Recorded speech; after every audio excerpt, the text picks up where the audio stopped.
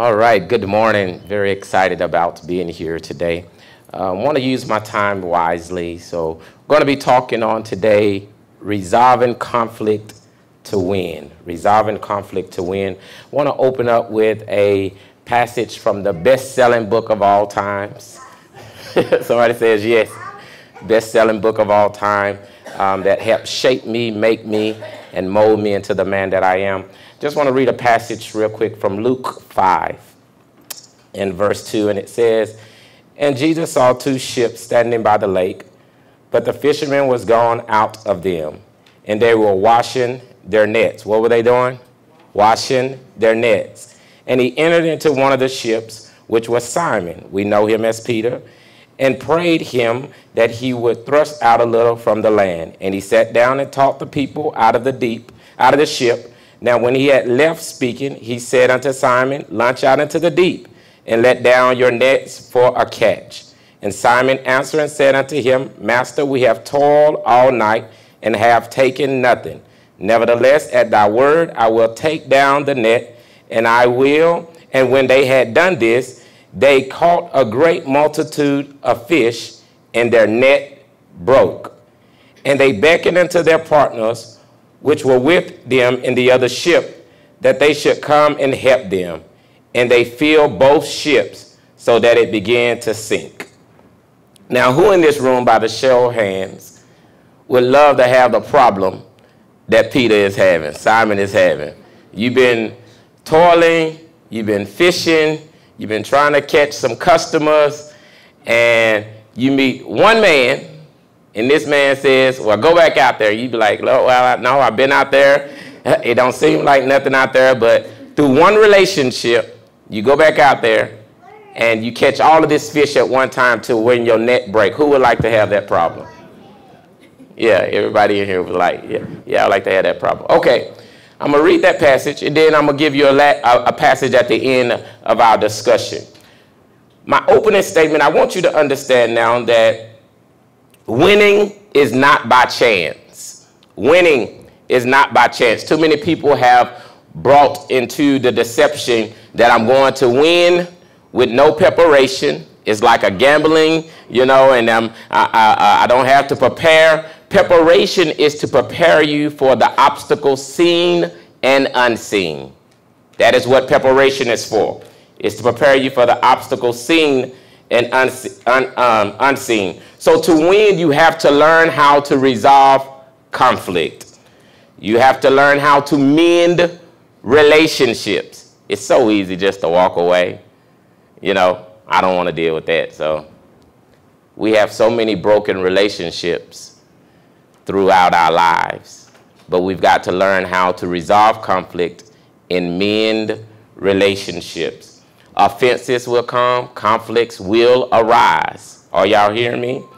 And how you handle them will determine if you're ready for the next level. I'm, I'm gonna give you an example. Shout first, shout, I'm a problem solver. A problem solver. Shout it like you mean it. All right, all right. When is the best time to solve a problem? The best time to solve a problem is before there is a problem. We've got to learn conflict prevention. What is it that I can do to prevent conflict because conflict is going to come. But what is it that I can do to prevent conflict? What is it that I can learn? One thing that we can learn is how to communicate and how to get understanding.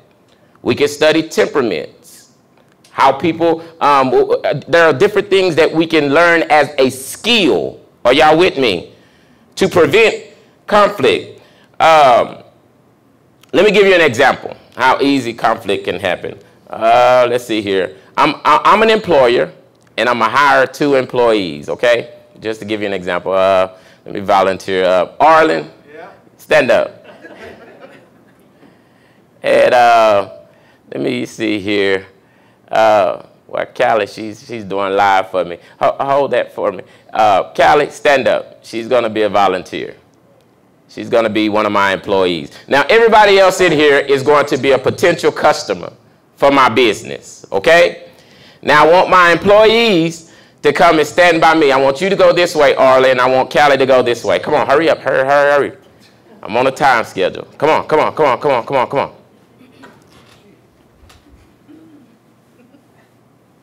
Now, you know what, Callie?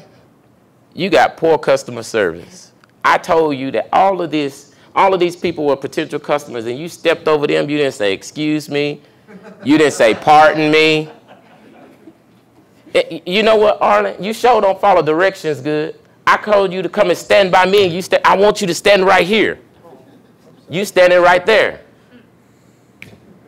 Now, instantly, automatically, offense and conflict is going to arise. And it's not really based on what they have done, it's based on broken communication and unexpected expectations. If you're going to be the leader to solve conflict or to prevent conflict, you have to give clear direction. I placed that expectation on her as if she knew that I wanted her to say, Excuse me, to say, Pardon me. Are, are y'all with me? We, we make that assumption that everybody's going to do this. We hire people, everybody's going to do it the way. They're not mind readers. So you have to deliberately take the time, say, this is how we do it. Each person that you come to, I want you to come, stand up, go to the left, and when you come to each person that's going to be a customer, say, excuse me, pardon me, tell them about, um, give, us, give them one of our cards. They're, they're, they're our potential partners. Or, and I have to tell Arlen, when I, I want you to come from the right. When you come from the right, I want you to stand in front of me. Clear, thank y'all. You, clear direction. A lot of conflict happen because we're not clear in telling people what we want. That's in relationship, that's in marriages, that's in some of everything of our day-to-day life. We're not clear in what telling people what exactly it is you want and what you want them to do. Okay. So Here's one of the issues is I don't know how to talk to them, first of all. And I did not give clear directions. Okay?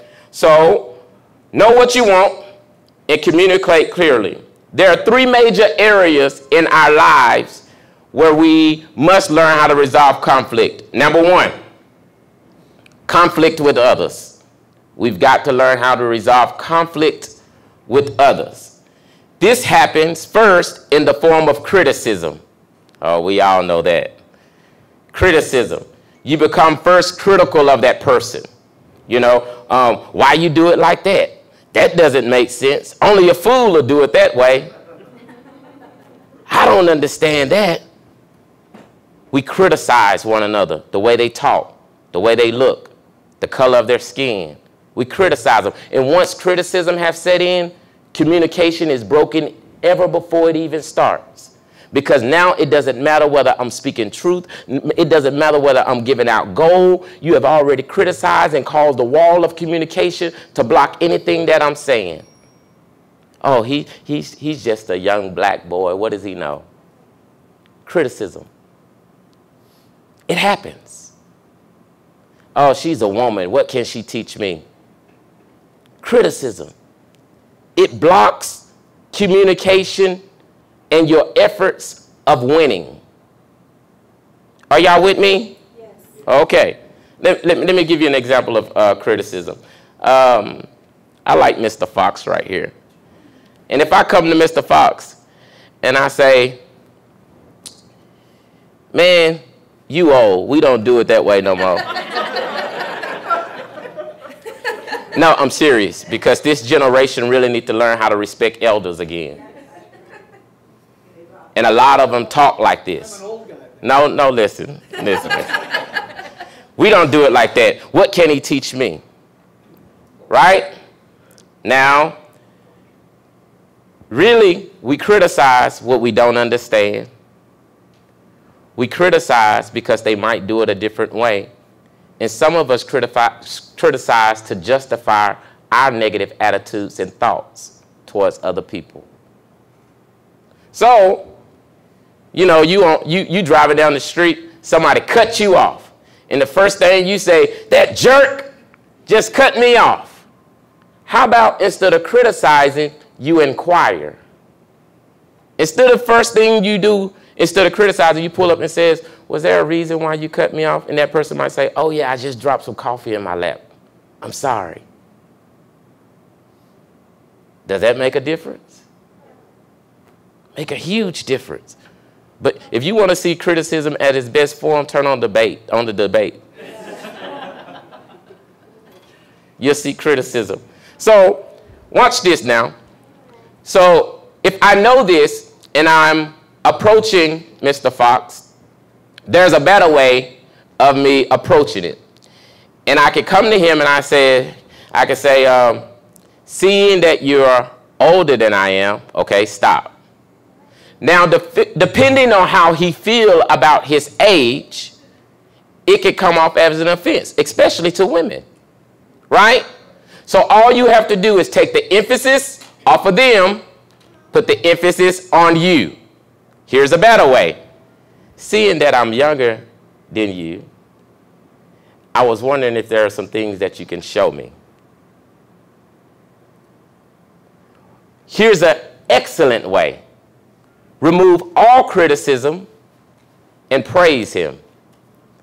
I come to him, Mr. Fox, seeing that you're full of wisdom and experience, I was wondering if you could give me your expertise on a matter. This, yeah, this man will open up and be willing to teach me all that he has. He's been in software for since 1970. That's longer than I've been alive. I'm 36 years old. And you don't think that is something that he can teach me? Are y'all with me? Yes. But if I'm critical, I will never get to that point to getting what he has to offer. Now, if you don't fix this stage of criticism, the next stage moves into condemnation. This is the next stage. Condemnation um, is a stage to where um, you now just condemn them. How many people in this room have ever told a lie? Don't lie. How would you like it if I said you're a liar? You wouldn't like it at all, would you? Because that one action or that one deed that you may have done in your past or even yesterday does not make you a liar. But what we would do, we would quickly label that individual and condemn them instead of saying something like, well, what you're saying is, I don't believe to be true. There's a difference in addressing the action and addressing the person. We can't condemn one another. And the only way that you can fix that relationship is you got to do a self check and go to that person and ask for forgiveness. Stop condemning. Are y'all with me? Yeah. All right.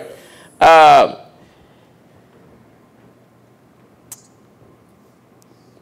if we condemn one another, guess what? You would never get the benefit of what that individual carry. Notice in relationship, the last part of that word is ship, it's cargo. It's the benefit of what that individual carries.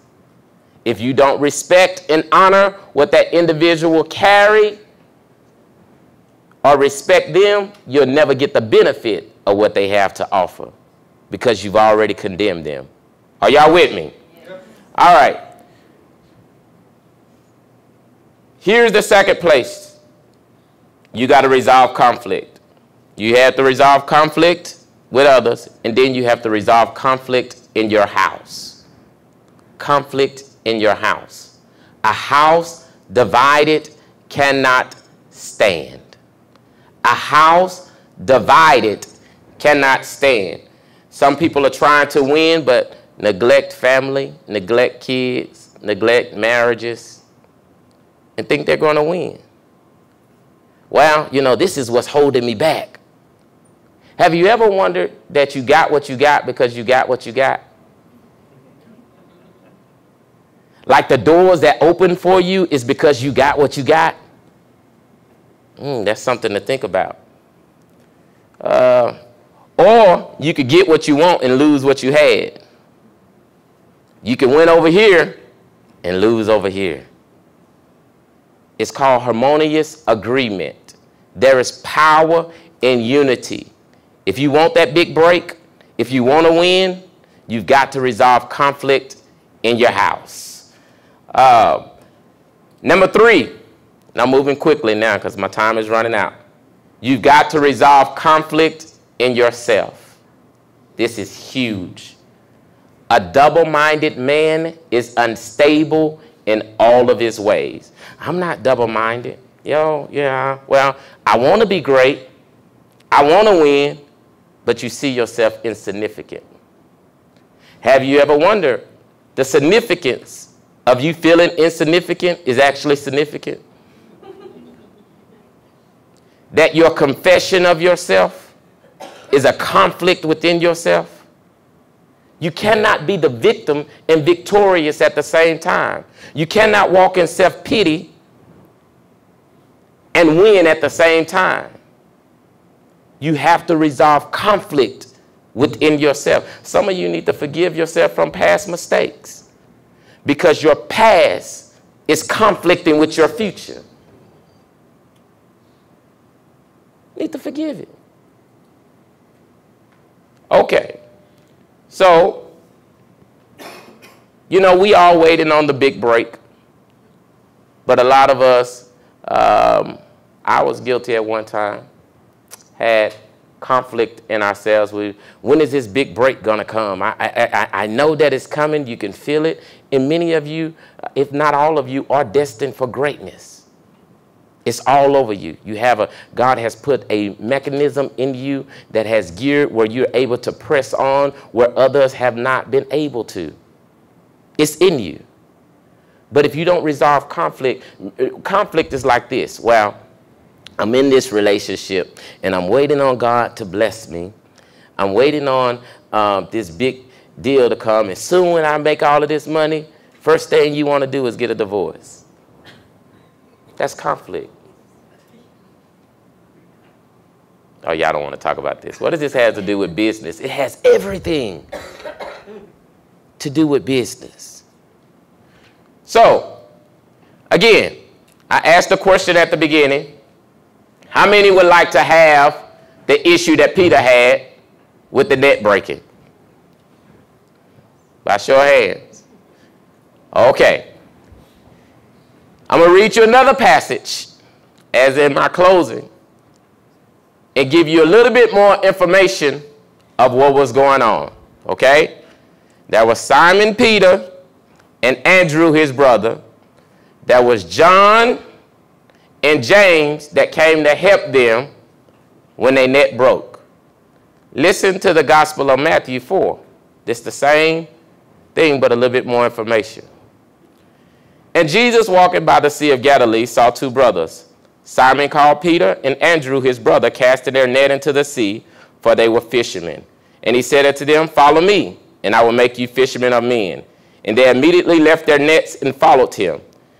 And going on from there, he saw two other brothers, James, the son of Zebedee, and John, his brother, in a ship with Zebedee, their father, mending their nets, and he called them.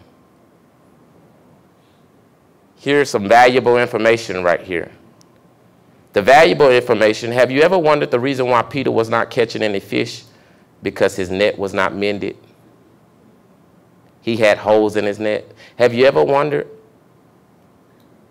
why he felt the way he felt when his big break came and his net broke?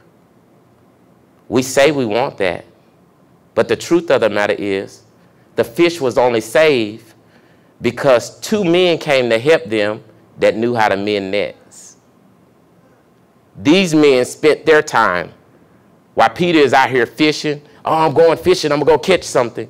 These two men, the Bible mentioned, that they was with their father. And their father, someone that had experience, was teaching them how to mend their nets because the great catch is coming. And if you don't do the due diligence to learn how to resolve conflict, if you don't do the due diligence to learn how to mend your net, your net will break. And that's not the situation you want to be in because if your business blow up and you lose all of your customers, just thank God that he had somebody that was there to able come and help him. Do you have that person?